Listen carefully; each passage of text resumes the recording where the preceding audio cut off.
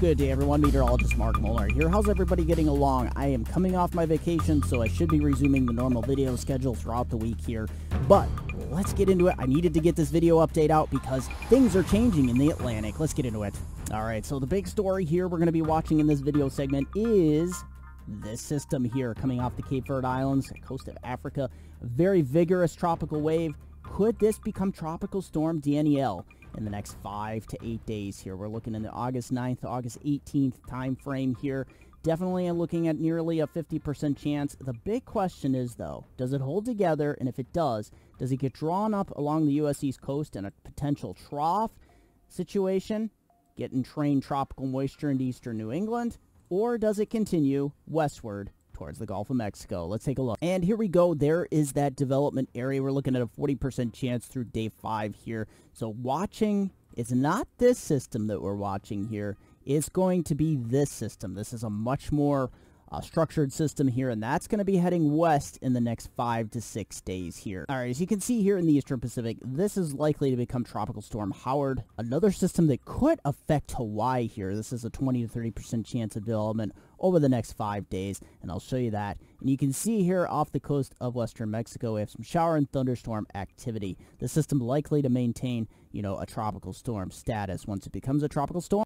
All right, so the two areas we're watching here, Tropical Depression 9 likely to become Howard. We got this system out here, southeast of Hawaii, which could impact Hawaii. And there is our system coming off, you know, just south of the Cape Verdes. We're going to be watching these three systems, and let's take a look here. So as we go in time, let's see what the, you know, the overall modeling does with these systems. So you can see pretty much Tropical Depression 9 probably by this point. This is Monday, 2 a.m becoming Howard. You know, its close proximity to the Mexican coast will keep showers moving in to places like Puerto Vallarta, but this, for the most part, is going to remain offshore and a weaker tropical storm.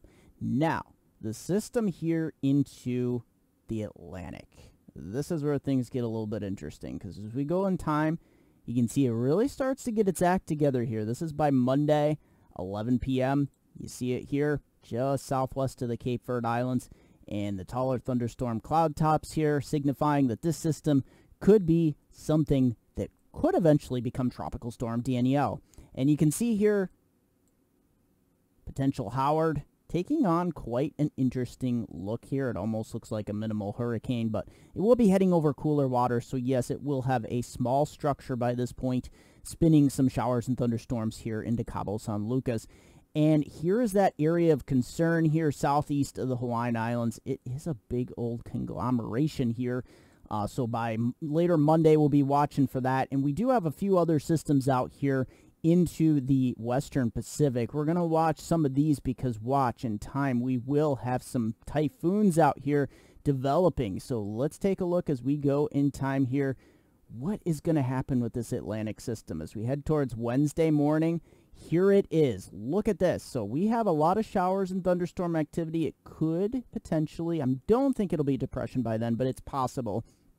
It's taking on a lot of, you know, moisture here from the intertropical convergence zone. And as we head to the Pacific here, this system potentially Howard by this point heading out into the cooler waters. But look at this, south of the Hawaiian Islands here by Wednesday. We're looking at a big old mess here, likely getting its act together and potentially becoming a tropical depression by this point. And you see the Western Pacific here still a little bit quiet, but we're going to continue to watch because as we head throughout time, I expect things to get a bit active. Now, we'll watch the activity kind of wane a bit here in the Eastern Pacific, and that should allow us to get things cranking here into the Atlantic. Now, take a look at this. This is by Thursday, August 11th at 11 a.m. Look at this. We have a batch of showers and thunderstorms. If that persists, that would be something we'd keep an eye on. Um, at this point, I don't think it's anything to worry too much about here in the short term. But look at this system here in the Atlantic, likely becoming you know much better organized here by Thursday. And let's take a look as we head out through Friday here. Yeah, it's uh, it could potentially be our next system, next name system, or tropical depression, you know, by this point. So it's quite possible, but you see what's happening here along the U.S. East Coast. This is kind of a trough that's going to be pivoting. So if this system becomes a player, will it be picked up by this trough? It's most likely because You know, some of the models take it more westward, but a lot of them are recurving, and it'll be interesting to see how close that gets to the U.S. East Coast. Now, the Intertropical Convergence Zone you can see is not quieting down anytime soon here into the Eastern Pacific. And look at this system towards Hawaii. Let's just back this up a few frames. Look at this. So yeah, this is going to be coming very, very close to Hawaii here. You can see the Hawaiian island chain. We're going to keep an eye on this because this could become quite a formidable system, at least at the very least, providing a lot of shower and thunderstorm activity, much more than you're used to here in the Hawaiian Islands. And as we go in time here, take a look at that. It does kind of skim on by, at least the GFS indicating that. And we have some other systems potentially here to watch you know, towards China. Nothing really towards Japan here, but we'll have to watch some of these systems as they kick up. I don't see any additional here into the Eastern Pacific. We'll have to watch some of these waves. But here's that system here into the Atlantic. Take a look at this. So, yeah, it's kind of heading a bit north at this point of the Caribbean islands. And that seems to be the trend here. And let's kick it on through time here. What starts to happen with this system? This is Saturday, August 13th. You can see there it is. It's kind of washing out here. This is what's left of it. So it tries to hold on a bit here. Let's see what the GFS here does with it in time here. Take a look at this. Yeah, it's uh whatever energy's left of it or it's holding on to here, it does make it here off the U.S. East Coast. But you can see by this point, here is the trough. So this, whatever left of the system, or if it's still a system, because this is pretty far out, this is Tuesday, August 16th, a lot can change between now and then. You could be looking at something just off the U.S. East Coast here. And of course, here into the Eastern Pacific, we're watching a lot of shower and thunderstorm activity that might develop into something here off the western Mexican coastline. Hawaiian Islands clearing out, but look what's left of eventually clearing Hawaii it's out here into the western Atlantic. So yeah, we're going to be watching that and a few other tropical waves just east of the Philippines here. So, and look at this. Eastern Pacific, a lot of wave action here as well. So let's continue in time here. You can see the modeling does take whatever is left of this tropical system up along and out to sea along the east coast, but a lot can change. You can see another front moving down by this time uh, Wednesday, August 17th. So the pattern is definitely changing here along the U.S. East Coast, and you can see another tropical wave coming off the Cape Verde Islands here. So definitely looking a bit more active here. Also watching another tropical wave here in the Caribbean. And look at this. Right off the western Mexican coastline here, we are watching another potential system that could be developing. And this one is right along, just northwest of Acapulco southeast of Puerto Vallarta here. So we'll continue to watch it here. Things are going to be really heating up here in the Western Pacific as well. Look at this. We have this system in time. Look at this. So we have this system just east of the Philippines. Look at this. This is a big old a typhoon at this point. Uh, here's the coast of Japan, so it is well away from Japan by this point. But definitely going to keep an eye on it here in the middle of the Pacific. And look at this as we head in time southern Gulf of Mexico, that system heading northwest. Will this become a Gulf of Mexico player here? And look at this, tropical moisture, whatever's left of this system, feeding up into eastern New England. Yeah, stay tuned. It could get rather interesting here. So, and then look at this, intertropical convergence zone continuing to remain very robust and active here. And as we head throughout time, you can see Things are changing. Eastern Pacific becoming quieter and the Atlantic becoming much more active. And look out here into the Western Pacific. Potential typhoons just east of the Philippines and the big one here just east of Japan. All right, so let's take a look what the Euro does with this system here in the Atlantic. So as we head through, this is Monday, August 8th, Tuesday, August 9th, it's always good to get to see what the Euro does with these systems. Now, this is really interesting because the Euro is keeping this system a bit far to the south here. High pressure retreating to the northeast. There's that trough, the positioning of the trough, very similar on the GFS as it is on the Euro. And as we head throughout time, there it is. It kind of loses its punch here. There's some wind shear and dry, you know, air at mid levels. So that could potentially do a number on this system. What does the Euro do? The Euro at this point looks like it keeps it as a weak open wave by that point and further to the south. All right, so the Eastern Pacific, it looks like it would become, at this point, Howard. This is Monday, August 8th. There it is off the coast of Cabo San Lucas. And there's that next system that potentially we're looking at Hawaii. I will show you. I'll be moving the map a little bit to the left here. But as we head throughout time, one thing to note is just like the GFS indicated here, yes, we do have another weak system potential here uh, by about Sunday, August 14th, but you notice the lack of activity as we continue through mid-August. This would allow the Atlantic to become alive. All right, so as we head throughout the middle of the Pacific here, here's the Hawaiian island chain right in the center here. Now here's that system here to the southeast, and there is another system showing up here on the Euro. Watch as we go out throughout time here. Let's see how these would affect the Hawaiian Islands. This is uh, Thursday, August 11th. There it is, Friday, August 12th, Thursday, August 13th. So System becomes very close to the Hawaiian Islands here, but it weakens here on the Euro. Here's another potential system. And as we go throughout time here, the Euro is keeping the systems weak and further to the south. All right, so here we go. We're going to look at the upper level pattern, see if things are going to break here across the east for the heat, and see if we're going to see any more, you know, any advanced tropical uh, readjustment here. You know, we head into Thursday. This is Thursday, August 11th. So we start to see, look at this. This is going to be the big heat breaker here across the Midwest, the Great Lakes, and eventually the Northeast here as this pivots to the east. We do have that ridge developing out west here, but look at this. Watch this as we go into the weekend. Ooh, refreshing. Look at this. This is by Friday, August 12th. Look at that beautiful trough. Now, normally you don't like to see troughs because it usually means inclement weather, but look at Saturday, uh, August 13th here.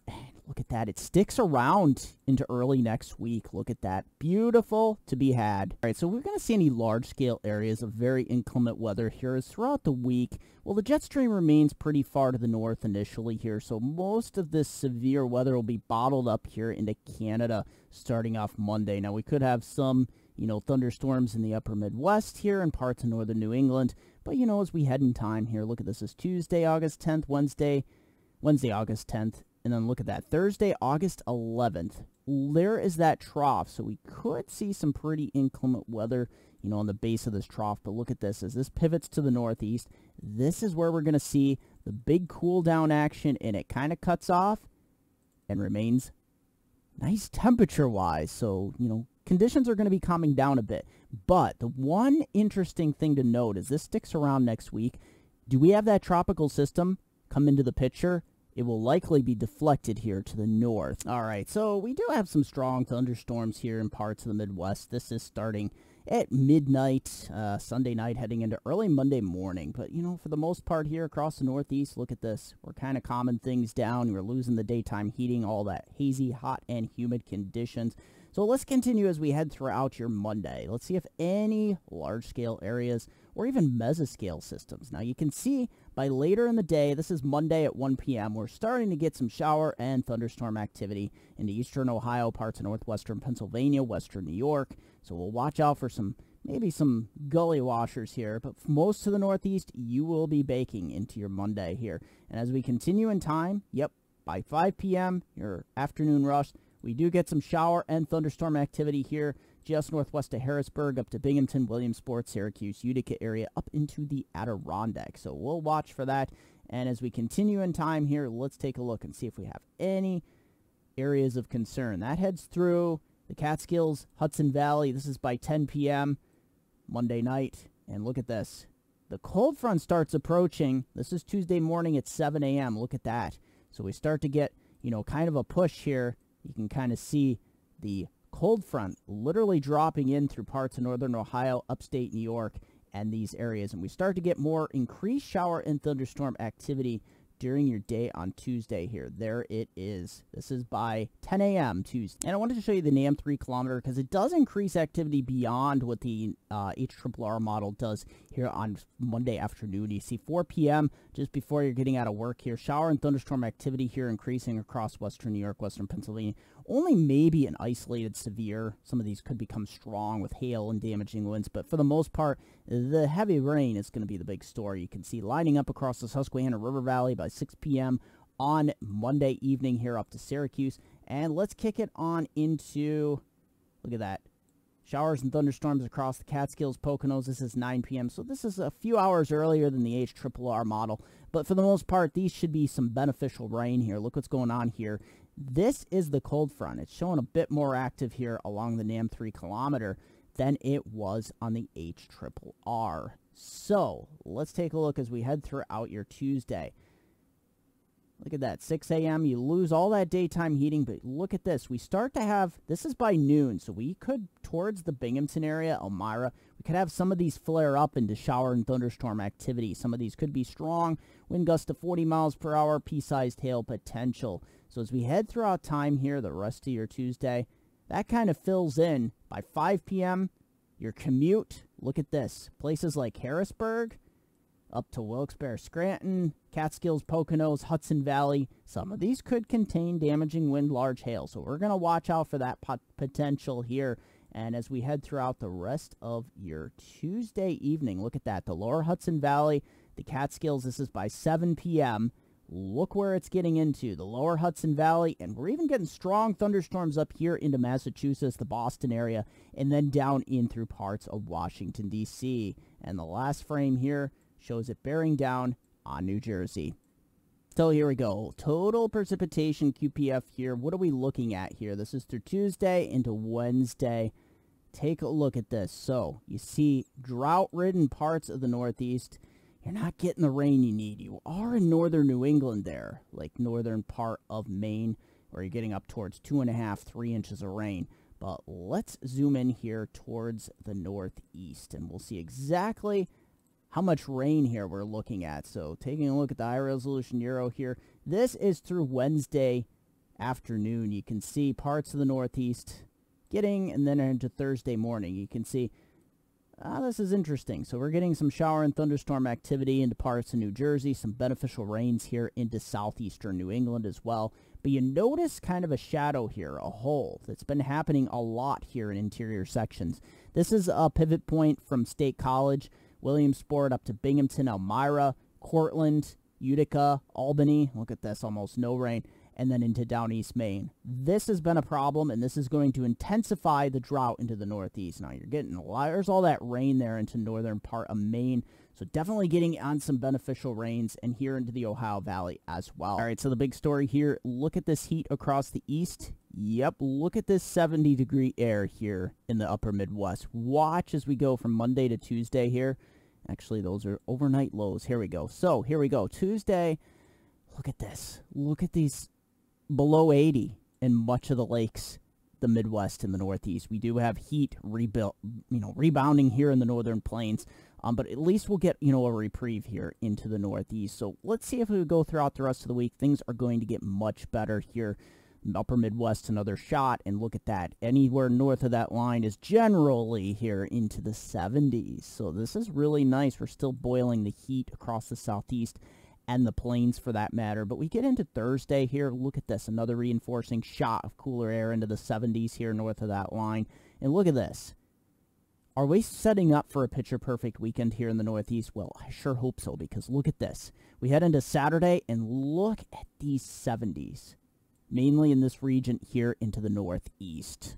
Extended outlook for my hometown viewers, Binghamton to Scranton's Upper Susquehanna River Valley. Look at this. Yeah, we're going to see a declining trend in temperatures. This is much welcome.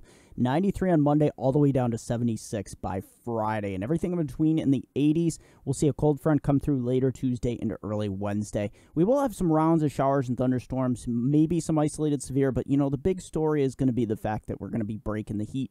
So maybe some of these gully washers, but we're not going to see any widespread rain really to put a dent in any of the drought whatsoever. Thanks for joining me, watching. Don't forget to share, smash the like button, question or comment down below. Let's keep the weather conversation going here. I love to read your questions or comments. Over at my social media pages, MeteoMark on Facebook, also Weather Northeastern, Hurricane Northeastern, also uh, Susquehanna Weather, and you can visit me on Twitter at Weather Eastern. Thanks for joining me.